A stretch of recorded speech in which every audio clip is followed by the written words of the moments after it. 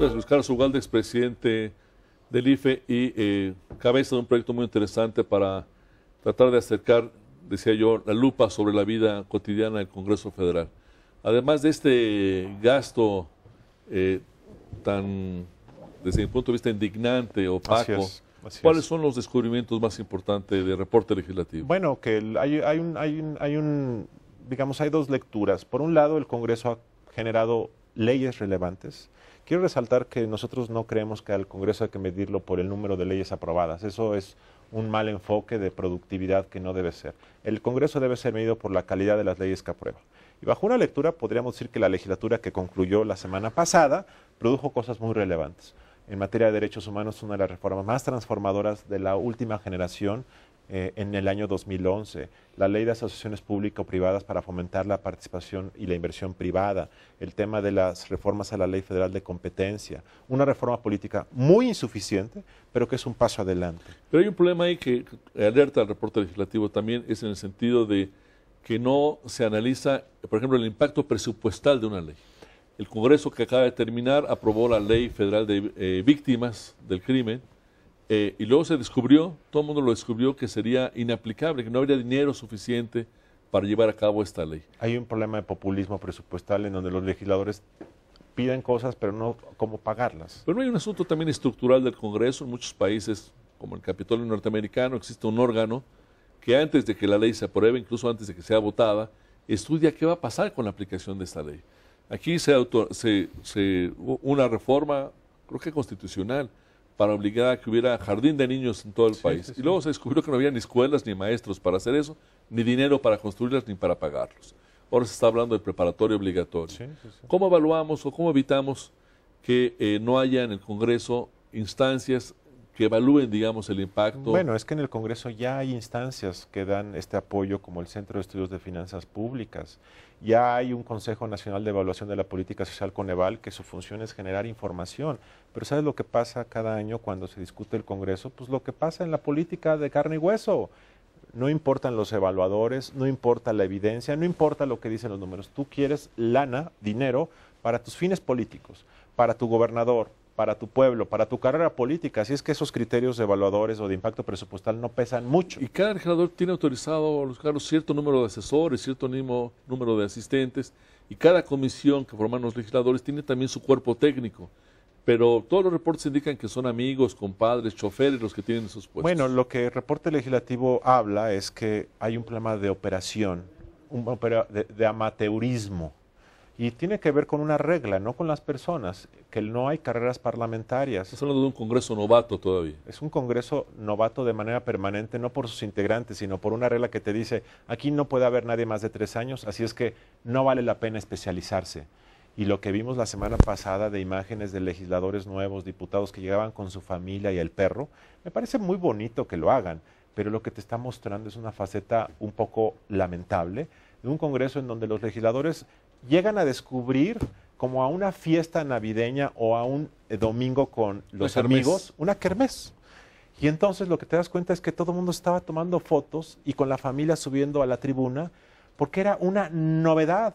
Esas imágenes lo que nos están demostrando es que cada tres años se reinventa el Congreso con novatos. Al votar por ellos, nosotros contratamos a estos servidores públicos. Sí. ¿Cómo hacer para, para ponerlos a trabajar y ponerlos en orden? Bueno, reporte legislativo justamente quiere hacer eso, poner la lupa. Y nosotros en este reporte, eh, nosotros ponemos qué pasó en los últimos tres años con los individuos. ¿Quién no votó? ¿Quién no fue a trabajar?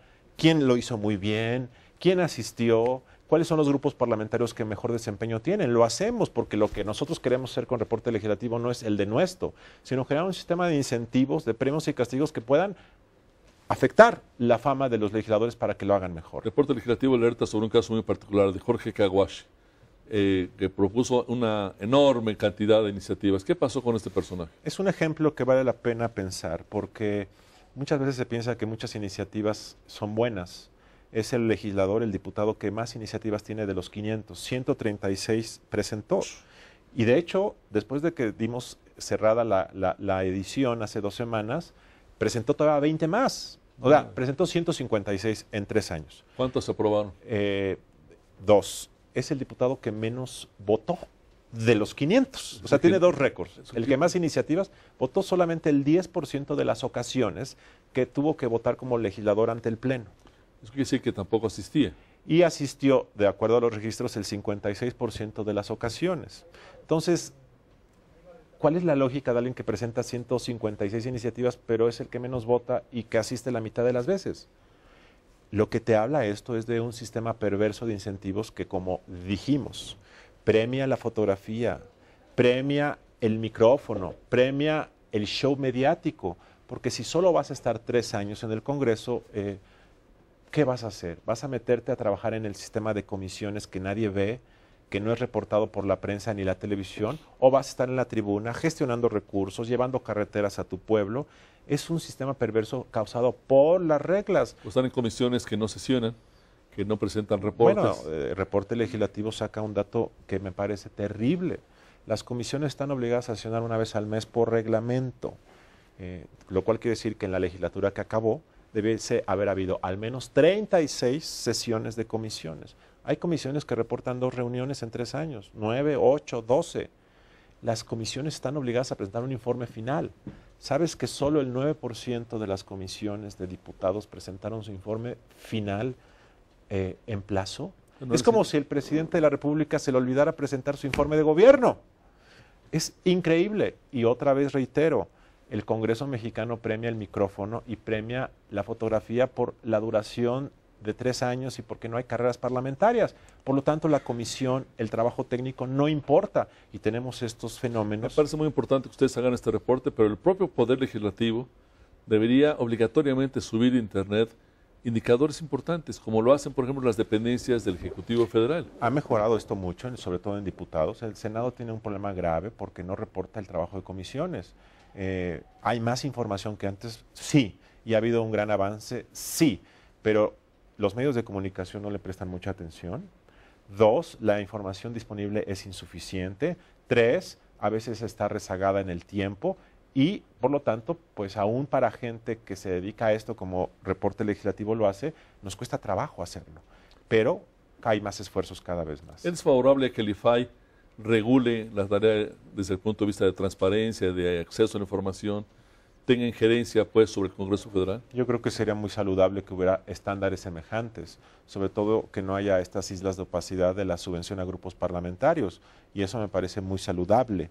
Eh, ojalá lo haya pronto, pero para que eso lo haya tiene que doler políticamente, y la única manera que duela políticamente es el señalamiento. Creo que esta nueva legislatura que llega, digamos, llega sin pecado de origen. Ellos no son los que pusieron esta regla de que no haya transparencia ojalá algún legislador tome la palabra y haga una bandera de esta causa. Pues, Carlos Ugalde, te apreciamos mucho la presencia en la silla rota.